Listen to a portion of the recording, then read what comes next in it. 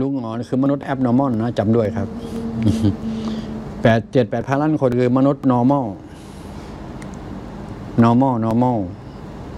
อ่าถ้าถ้าพัฒนาความเป็น ego ego ego ที่ว่ามั่นใจนะครับ ให้ไปทางดีหกสิบเจ็ดสิบแปดสิบเปอร์เซ็นต์เนี่ยมันก็จะพัฒนาตัวเองได้ แต่ถ้าหาว่าทางไม่ดี มันก็จะไปรวมกับ id ทันที ยิ่งแย่ประมาณนั้นนะครับนะ ตัวสุดท้ายจริงๆก็คือ abnormal กับ unconscious นะแล้วก็ set zero ครับตัวตัวสุดท้าย นอกนั้นก็ตัวอธิบายนู่นนี่นั่น มันเป็นภาษาสุดท้ายเลยนะครับ สรุปก็คือ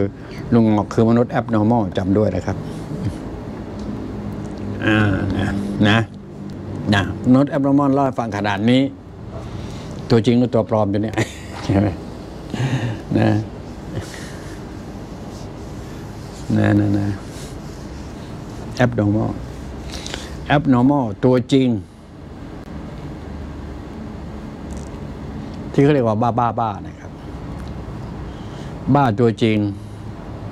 ตามภาษาตลาดสดตอนนี้บอกว่า abnormal ตามภาษาในตลาดสดตลาดแห้งเขาจะเรียกว่า abnormal ก็คือบ้า ตัวจริงก็อยู่ที่โรงพยาบาลบ้า แก้ผ้าเดิน กลุ่มนี้เขาจะไม่ยอมรับว่าเขาบ้า จะไม่ยอมรับเด็ดขาดนะฮะให้รู้ไว้นะครับ ส่วนแอป normal ตัวปลอมนั่งพูดอยู่นี่ ที่สุดจะเป็นตัวจริงแท้ นั่งพูดอยู่นี่แหละครับ ที่สุดที่สุดเป็นจริงแท้แอปน้องมอนจริง ๆ คือจริงแท้เห็นไหมครับ ก็แจ้งเพื่อโปรดแทบเอาไว้ก็แล้วกันนะสำหรับท่านที่สนใจใฝ่รู้กับสิ่งเหล่านี้